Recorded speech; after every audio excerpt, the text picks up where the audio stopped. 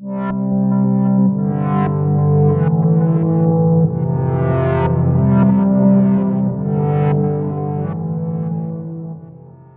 hello. I'm Bretton, one of our MCAT tutors here at Inspira Advantage, where we help students get into med school and other professional programs. Today, we are going to briefly discuss the roles glial cells have in the central nervous system and peripheral nervous system that you need to know for the MCAT.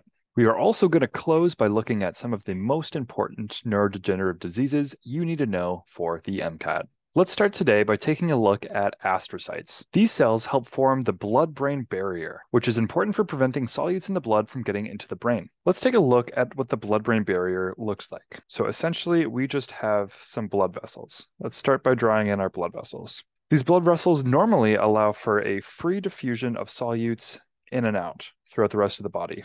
But we can't have this happening in the brain. So, what are we going to do? What we see happen is that astrocytes use their feet to cover the blood vessels. And it looks something like this, where the circle is the cell body, those little spindly lines are the dendrites, and astrocytes are going to cover the whole thing with their feet and not allow for solutes to get in and out. So you can imagine then if these are tight together, there is no way for solutes to get in. They just get bounced off. They stay inside the blood vessel and can still share their nutrients in other parts of the body. But in the brain, it is all controlled through the astrocyte. If the astrocyte doesn't want it to come into the brain, it won't come into the brain. The feet of the astrocytes are technically called end feet. Astrocytes form the blood brain barrier by forming tight junctions with these end feet. And the AAMC loves to test this by asking what type of cell is injured when foreign substances that are typically excluded from the central nervous system are found in the brain. Well, if your astrocytes are dead, they're not going to be regulating the composition of fluid in the brain very well anymore. Just going to be free flowing out of the blood vessels. Another important glial cell to know are ependymal cells. Another important glial cell to know are ependymal cells. These cells play a role in regulating cerebral spinal fluid in the central nervous system. These cells line fluid filled cavities in the brain. Another key cell to know are called microglia. Microglia are like the brain's immune system and trash service all rolled into one. They help digest waste as well as fight off invaders. Microglia have to be activated before they turn into an immune cell that begins eating away at bacteria that have invaded the brain or viruses that invaded the brain. This is a very critical system to maintaining the health and homeostasis of the brain. Well, these are all important cell types. The most important and often tested type of glial cell by far that you need to know for the MCAT are those that make myelin. My, there are two types of cells that produce myelin in the nervous system. We have Schwann cells in the peripheral nervous system and oligodendrocytes, which make myelin in the central nervous system. The difference between these are that it takes many, many Schwann cells to myelate a single neuron. So let's draw what this looks like. So I'm going to draw again a really simple neuron here, starting with a circle for the soma or cell body.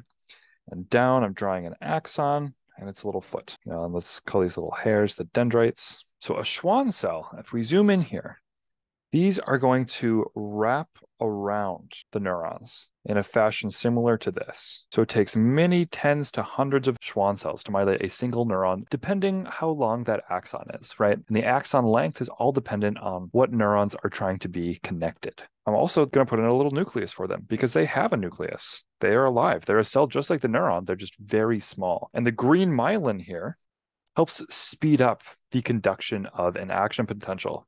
This is because as we're going down, the action potential can skip over the myelin parts and just continue down through the axon itself.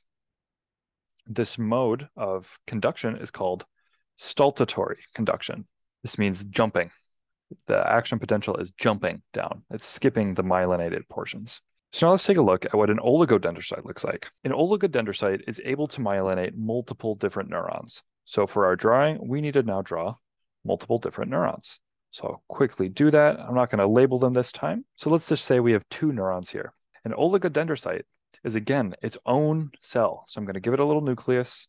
I'm going to give it a soma. And the way it works is it has these projections that come out and myelinate. Going to myelinate multiple portions of the same neuron, as well as able to do other neurons. And usually it takes more than just one oligodendrocyte. So I'm going to just draw two in here. You know, maybe this one is going to help crisscross here, myelinate over there.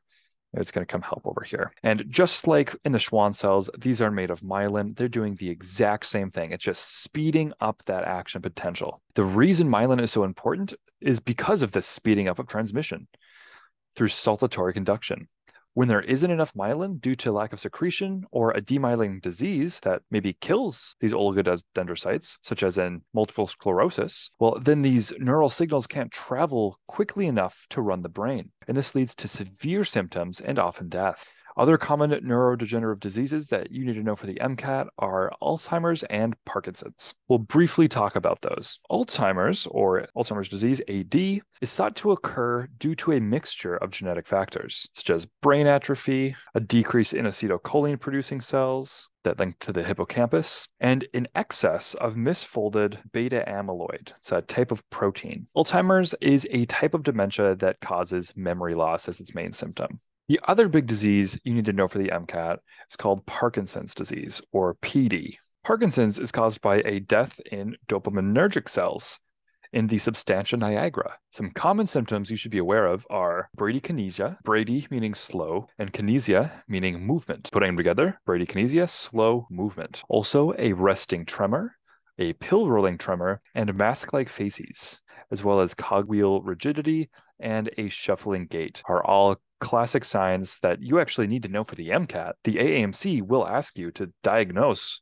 Parkinson's based on these symptoms. Symptoms all come because of those dying dopaminergic cells. It's producing less dopamine. So then it makes sense that the current best treatment used to treat Parkinson's is by using dopamine precursors like L-DOPA, which turns into dopamine once it gets into the brain. But unfortunately, L-DOPA does not completely cure Parkinson's disease, it just lessens the symptoms for some time. Similarly, Alzheimer's disease, there is no cure for it. There are some treatments that can help address some of those symptoms, but they are both fatal diseases. In summary, astrocytes help form the blood brain barrier. Ependymal cells regulate CSF levels. Microglia fight pathogens and clear waste.